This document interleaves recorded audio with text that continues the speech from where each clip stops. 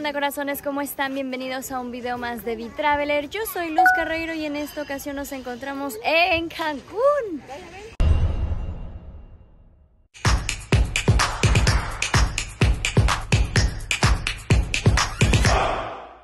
Nueva en el canal, te doy la bienvenida. Yo soy Luz, una mamá viajera que junto con su hija Gaia me gusta aventurarme, viajar y compartirte nuestras experiencias de una manera un poquito más relajada. Si esto te llama la atención, no olvides seguirnos en todas nuestras redes sociales, donde podrás encontrarme como v.traveler. Muy bien, continuamos disfrutando la vacación en el Caribe mexicano y el día de hoy nos hemos venido a disfrutar uno de los parques principales de la Riviera Maya, que es Xel-Ha. Xel-Ha es parte del grupo Xcaret, son varios parques alrededor de toda la Riviera, como Xcaret, Xel-Ha, Explore, Xochimilco y muchos más. Y Xel-Ha su especialidad es que son actividades acuáticas. Es excelente para venir con peques porque lo que más se hace es nadar. El costo por persona está en 2.898 pesos mexicanos comprándolo desde línea y para niños arriba de los 5 años está en 1.989. Menores de 5 años no pagan, así que venimos con suerte porque ni Sofía ni Gaia. Cosas a considerar, el parque abre a partir de las 9 de la mañana y cierra a las 5 de la tarde. En los hoteles hay pick-up, nada más tienen que checar programarlo con anticipación y estos pueden ser incluso desde las 6.45 de la mañana como nos tocó a nosotras. Los desayunos empiezan a partir de las 9.30 de la mañana. Aquí pueden encontrar buffet abierto para todas las personas de manera gratuita, puedes comer varias veces en los diferentes restaurantes. Hay desde restaurantes buffets bastante completos hasta restaurantes que son nada más de snack y de comida rápida. Las bebidas también están incluidas, incluyendo las alcohólicas. Nomás no se pongan una gran farra porque a mí ya me pasó, me terminaron sacando del parque hace muchos años. Junto con la entrada incluye también el servicio de salvavidas y snorkel para que puedas disfrutar de todas las actividades. Lo que sí te recomiendo muchísimo es que vengas preparada con unos zapatitos para poder estar en el agua ya que todas las pertenencias se dejan en un locker la mayor parte del tiempo, incluyendo el celular. Así que también considera si quieres estar grabando, tomando foto, traer un case especial. Sin embargo, hay módulos para tomarse fotografías en todas las partes del parque. Estas tienen un costo extra y dependerá de cuántas fotos quieren, cuántas personas son, etcétera. Por cierto, me acabo de dar cuenta que traía los ojos como loca en todos los primeros videos y Arisbe no fue capaz de decirme nada. Yo lo vi. Pero bueno, ya nos acicalamos, chicas. Llegamos un poquito temprano y toca esperar porque lo primero que queremos hacer es desayunar. Así que ahorita estamos con las niñas, jugando un poquito con la arena. No nos queremos todavía meter al agua. Pero si tú vienes bien puntual a las 9 y si gustas te puedes ir directo a nadar sin ningún problema. Ya queda de ti si quieres comer antes o no. Nosotras bien tranquilas haciendo tiempo para el buffet. Así se ve la cola 10 minutos antes de que den las 9 y media. Así que lo más recomendable es que si si vienes temprano, aunque sea como por ahí de las 9 y cuarto, ya te pongas para hacer cola. Hay espacio para todos, el restaurante es muy grande, es de dos pisos de hecho, y es estilo buffet, así que no hay ningún problema en que también llegues como que a la mera hora. Tus comadres ya no llegaron. Que corrí. Ya no, llegaron al buffet. O sea, nos están recomendando pasar al restaurante del lado, que generalmente es el restaurante de snack. Literal está aquí al lado. Es la gran cosa. No hay tanta cola. Corre, Arisbe, corre como el viento esta vez. Y ahorita toda en la mañana todos están ofreciendo desayuno, así que pueden venirse directamente al restaurante La Terraza que queda a un lado del restaurante La Chula Vista, que es el primero que se llena, por si no quieren hacer tanta fila. Y empezamos con opciones de frutas y gelatinas para empezar el desayuno. En segundo tenemos como un área de guarniciones, tenemos frijolito, arroz, verduras, hay huevito aquí también. Luego tenemos salchichas, huevitos, eh, chilaquiles, más. Esta es mi parte favorita, claro que sí, lo choncho, lo dulce, lo apapachador. Por último tenemos el área de las bebidas, tenemos chocolate frío, esto es lo que vamos a agarrar. Tenemos juguito de naranja, hay refrescos, sodas, las típicas, horchata, limonada y agua. Y así quedó nuestro plato. Gaia está interesada, ha captado su atención. Y vamos a empezar con un poquito de huevito. Me da Muy bien. Creela. Ya nos encontramos en nuestra primera parada después del desayuno y es el mundo de los niños. Vamos a esperar un poquito para bajar la comida antes de entrar al agua. Aquí tenemos desde actividades como pasadizos secretos, camastritos para niños, hay sub y baja, hay columpios. Aquí tenemos en la parte de atrás algo que es como pista comando, este pulpo para dar vueltas. Hay bastantes actividades para poder estar eh, pues un ratito aquí por lo menos en lo que se baja el desayuno yo lo recomiendo mucho. Allá van nuestras guerreras a subir a la pista comando. ¡Go Gaia, go! Hay una tapa. Órale, van a subir ese. A ver. Importantísimo y un excelente punto es que aquí cuentan con chalecos salvavidas para todas las edades, incluyendo para las más bebés. Vamos a ponerle uno a Gaia por su seguridad. No tengas miedo. Le vamos a poner musiquita bonita.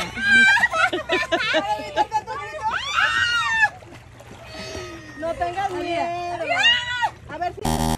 La idea es que las niñas pudieran cruzar la pista comando sobre el agua como este peque, pero no estaba a prueba del peso de estas suculentas mamis. Como tercer punto de actividad, lo que recomiendo es que se vengan directamente al área donde se consigue el trencito o las bicicletas que te llevan al río, al inicio del río. Si vienen con peques, obviamente se recomienda el tren, pero si tienen la condición y las ganas, la bici es un muy buen recorrido porque es como por la jungla. En esta área para ir a las donas tenemos las opciones de agarrar aletas y goggles o snorkel. Eh, en caso de que quieran aletas, es necesario retirarse cualquier tipo de calzado, no importa que sea calzado acuático.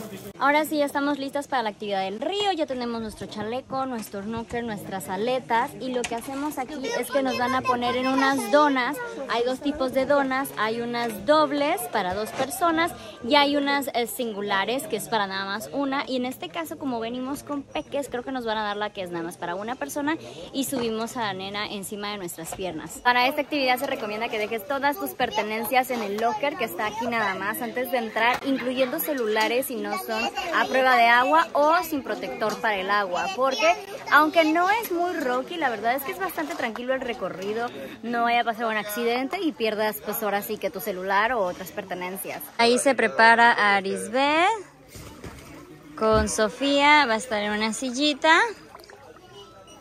Y aquí vamos nosotras. Eso, eso. Muy bien, muy bien. Eso. Y ahora. Mis compañeras de aventura están teniendo problemas técnicos. Como les digo, esta ruta realmente es bastante tranquilita, eh, nada más hay que como que irse, dejar eh, llevarse por eh, la corriente del lago, utilizar tus aletas nada más un poquito y también te puedes ir incluso apoyando un poco de algunas partes del manglar en caso de que tengas que esperar a alguien o tienes que avanzar un poquito más. Hacemos esta ruta como unos, no sé, 10 minutos tal vez y ya luego llegamos al área abierta de agua donde hay otras actividades que ya son como para personas más grandes, no tanto para niños, que son como una pista comando arriba del agua. El agua es fresquecita, no es helada, es nadable una vez que ya estás como que acostumbrada a estar adentro, es como si fuera agua de cenote básicamente y está bastante a gusto. Así que bueno, anímense a hacer esa experiencia. Yo creo que esta es la actividad principal de Shelha, es como que lo mayor que hacer, te toma aproximadamente una hora, una hora y cachito, dependiendo qué tantas actividades quieras hacer en el camino, como snorkelear, como subir a la pista comando, etcétera. Listo, ya hemos salido ahora sí que del caminito de manglar. Al lado izquierdo hay otro caminito que es el camino donde puedes venir haciendo snorkel. Aquí no vienen, de este lado no vienen con llantas, ¿no? En nuestro lado es más como para ir con llantas. Y así se ve ya una vez entrada al área abierta. Vamos a ir avanzando y vamos a poder empezar a ver las diferentes actividades que hay para hacer. El agua ya se siente un poquito más calientita porque ya está el sol. Y también en el transcurso de este recorrido hay algunos puestos para hacerse fotos con la pulsera que luego van a poder escanear y comprar. Llegamos a la primera actividad. De este lado pueden ustedes dejar su dona y luego nadan al frente para subirse a esa piedra y hacer un salto al agua. Eh, yo le calculo unos 3 metros de salto, a ver si se animan. Aquí hemos llegado a otro pequeño dock, otro pequeño puertito donde tú también puedes dejar eh, la dona y simplemente nadar un poquito, disfrutar o simplemente ya dejar la dona y echarte el resto del camino nada más con tu chalequito, snorkelear y más. Vean, es un campo bastante abierto atrás de mí donde van a poder disfrutar básicamente nada más del agua. Miren, aquí ya hemos llegado a otra parte donde de este lado derecho podemos ver que hay para saltar. Hay una pequeña pues altura, igual yo creo que son unos 3 metros. Y de este lado está como que la parte más atractiva de todo el recorrido, que es la pista comando. Van a poder ver cómo hay para subir en cuerda, hay una pequeña tirolesa, la gente va dejando sus, eh, sus donas en alguna parte y tiene que nadar para luego poder hacer toda la pista comando. Sin embargo, esta zona es más como para adultos, no tanto para los peques. Nosotros seguimos así y mientras tanto los demás van avanzando en esa pista. Y el recorrido termina un poquito justo después, digo, si ustedes quieren se pueden quedar más tiempo, pero si ya se quieren salir a partir de aquí, ya lo pueden hacer terminando la tirolesa. Está colgando, güey. ¡Wow! ¡Eso!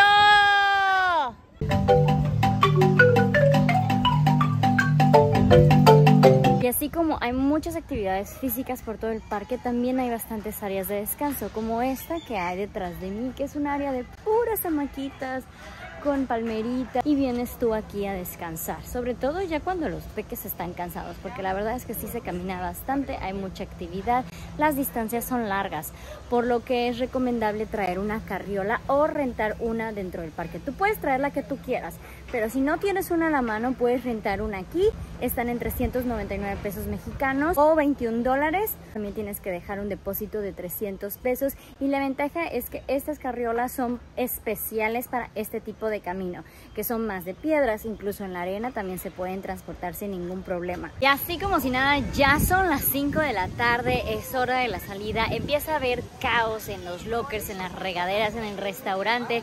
Mi recomendación es de que se bañen, recojan sus cosas y hagan todo lo que tenga que ver con los baños antes de su última comida para que ya lleguen a comer tranquilamente y a las 5 ya estén listas para salir, que es la hora más o menos que los autobuses empiezan a llegar para llevarlos a sus respectivos hoteles. Y antes de irnos les quiero mostrar algo que la verdad no hicimos, pero es infalible que ustedes lo hagan cuando vengan y es el tobogán. Este tobogán impresionante, una torre entera que va bajando que tengo detrás de mí en estos momentos. Ya lo hice una vez, sientes que se te va la vida, que llegas al cielo, regresas y luego terminas en agua. Es impresionante. No puedes entrar con bebés, no puedes entrar con carriola, no puedes entrar con celular. Es nada más tú subes, bajas y sales. Ahora es uno de los mayores atractivos del parque y desde arriba en lo más alto de la torre se ve una vista impresionante, tanto del parque como del mar ya abierto, donde puedes encontrar otro tipo de actividades que también se hacen, sin embargo, cobradas. Y lo último de hacer antes de irnos es pasar a escanear nuestras fotos para ver qué paquetes quieren comprar. Los precios de estos paquetes van a depender según cuántas personas están utilizando el mismo escáner. En nuestro caso son dos personas, somos dos adultas y el paquete cuesta alrededor de 1.399 pesos. Recuerden que si ustedes van a contar con el servicio de transporte que los van a llevar a su hotel, tienen que caminar de la salida hasta donde están los autobuses grandes. Se pueden preguntar a cualquier persona que les indique de los que trabajan aquí, de los que están vestidos de rojo principalmente. Y ya nada más con que digan a qué hotel van, ellos le indican en qué plataforma está estacionado el autobús donde se van. Porque van cambiando, no es precisamente el mismo autobús que tomamos en la mañana, ¿ok? Y hasta aquí llegó la aventura, corazones. Díganme en comentarios si les parece bien el costo del parque de casi 3 mil pesos por todo lo que ofrece, comida, bebidas y la diversión acuática. Y si se animarían a llevar a sus peques. No olviden si les gustó el video, regálenme un like, un comentario, compartir y suscribirse al canal. Nos vemos en la siguiente aventura.